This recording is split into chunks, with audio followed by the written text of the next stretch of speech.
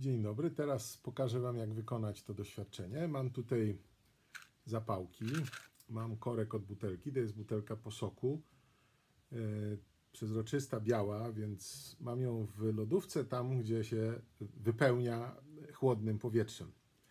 Tutaj za mną jest y, kran, puszczę cienki strumień ciepłej wody już, żeby mieć go przygotowany, o taki.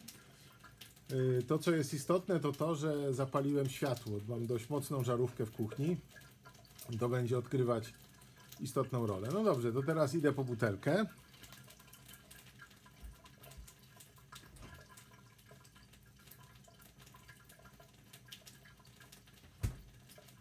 Mam butelkę, wlewam do niej cienkim strumieniem trochę wody na dno, tak żeby nie polać po ściankach.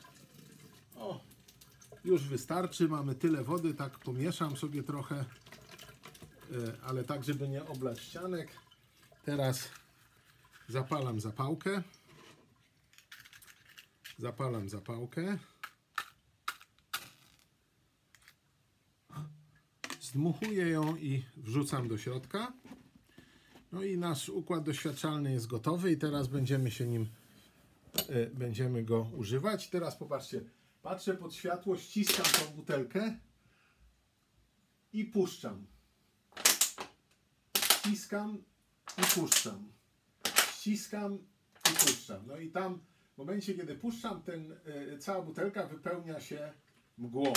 Kiedy ściskam, mgła znika, kiedy puszczam, butelka wypełnia się mgłą, to bardzo ładnie widać, dlatego że światło żarówki rozprasza się pięknie na tych drobnych kropelkach mgły. I to już całe nasze doświadczenie. Dziękuję bardzo.